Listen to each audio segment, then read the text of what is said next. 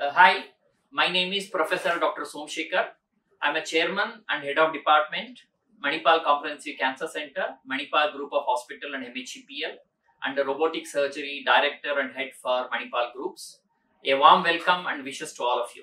we all know that you know human race was hit with unprecedented pandemic nobody was ready for this nobody knew what it is life got disrupted we learned to live new normal human being you know always darwin says that the race which survives is not the race which is most dominant not somebody powerful like a macho guy very rich guy i leave. no they are not the guy they perish weak perish very high end perish a species and a living being which adapts is the one which survives. That's how if you look back from dinosaurs thousand years till today to reptiles to human being, what is the race which survived? Who can adapt. So now human race are adapted to this pandemic. You know what happened to the healthcare? This got affected most. One side COVID patients and we can't deny treatment for cancer patient eligible emergencies. What happened in pandemic? We can't keep patients in hospital for a long time early discharge. You cannot touch patient too much contact, open, blood, vapors, everything. Too many people cannot come. Less ICU stay, less pain, good quality, send them back home. Try to do more remote, you know, consultation, video consultation. So, this is an opportunity where open surgery came down, lab came down, robotic flourished. If you see the COVID surge, multi-institutional study published from across world including our institution several work we did ideal for pandemic was the robotic all other surgeries came down all other healthcare came down patients got delayed treatment but outburst of robotic surgery happened because ideal you come home minimum doctor to patient contact minimum assistance with four arms of robot surgeon does sitting here early recovery eat same day, walk two days, go home fast, less cut, so no infection, less antibiotic, less this one, rest all can be remotely managed. So COVID pandemic, general life disrupted, all healthcare disrupted, all other surgery came to standstill, patients suffered, all problems like heart attack, cancers progressed, but the robotic surgery which was ideal for pandemic flourished. What we all did is we coupled ERAS protocol, enhanced recovery after surgery protocol with robotic. We were able to do outsurge, there was a 200% increase in robotic surgery across world, increase in India, including in India during this pandemic time. So people understood the benefit. Now, even though pandemic is in the last leg probably now, we are still learnt that ERAS and robotic can built up. So robot was a boom for cancer patient and emergency surgeries. Coupled with ERAS, we didn't compromise the outcome and yet we could serve the humanity and people and this lesson learnt is the new normal for us now you see uh, remember uh, awareness among clinician was the most important thing when we started all robotic assisted surgery about one and a half decade back we spent lot of time to mm, bring awareness among the physician itself. Many of them didn't even understand what does it entitle what is the benefit.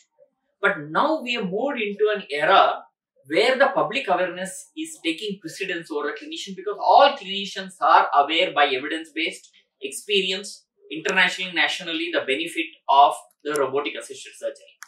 So the awareness a decade before was very poor. Now it is extremely opposite. Patients come demanding so the awareness among public is now huge educative media social media and then you know youtube's google patients read, other patient gives knowledge to other patient, clinician gives patient. So now we are in era where I have to put little effort to bring awareness among the public. Luckily it is huge. Like last 4 to 5 years, I have not lost a single patient who is eligible for robotic because they were not educated, they were not aware. All I need to do is explain and they say I am aware. So I am very happy we are now in an era where the public awareness because of various activity is very high and this is very happy news. So as a clinicians, we don't spend too much energy explaining what is robotic assisted and benefit. We can concentrate on delivering the healthcare, which is a happy news. Having said that, still lot can be done among the clinicians, institution, patients, public, insurance people. And now the things are working towards it and I would say that probably in coming few years, it would be equivalent to any other open surgery you know now the limitation point. Here is a technique which is profoundly superior to laparoscopy and open, beneficial for patients, better clinical outcome, minimal access benefits, also clinician performs the best. You know the beauty of robotic surgery, assisted surgery is short learning curve, very low conversion rate, excellent standardization. A group of surgeons doing same surgery in any part of the world across various surgeons still can produce a equally good quality of result.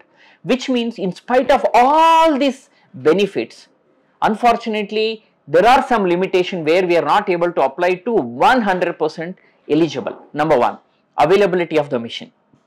You know, in a country like India, still we need 10, 15 times more availability. So, first thing is the availability.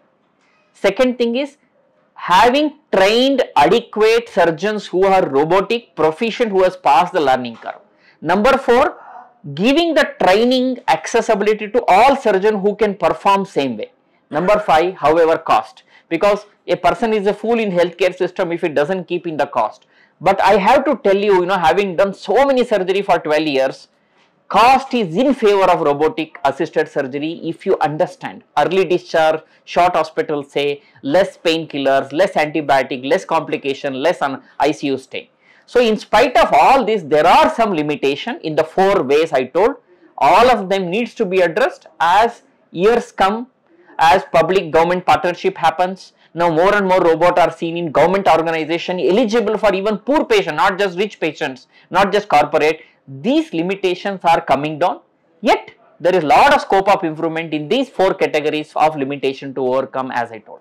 Luckily, last five years what I found after Intuitive came to India directly is the training program is very robust. Number one, before anybody is allowed to touch a robot and operate a patient, you may be a top surgeon, you may be a king, you may be whoever, you have to go through 60 to 78 hours of simulatory training. Don't experiment on the patient. Simulator. Beauty in Intuitive is a state of art simulator comes built in that. You can do that simulation. First you have to do that. The system will tell you are pass or fail. You will reach that by about couple of months. After that, you do that, you do a dry lab. Phase 2. Phase 3, after you do dry lab, you go to a OT to a proficient trained center which is center of excellency like, like you know say ours Manipal and watch how a master does. Nothing like first hand watching it. That is called as case observation, phase 3. Then you go to the animal lab where under ideal condition you do a animal lab training, phase 4. Things doesn't end there. You are still not ready to operate then in your institution when you start a surgery the mentorship program comes. A mentor is a guy who would have done thousands of cases with good experience with excellent teaching skills with already proved track record of quality will come be there for you for first several cases and mentor you in your institution. Before this mentoring the new thing that has come i'm very proud that which was available only in us first time brought to india over last some months is remote case observation. So as an youngster, take my word, this is very fascinating field, very challenging, highly rewarding for you on patient, very short learning curve, highly standardized and you can do lot of benefit to your patient and please embrace this as an youngster.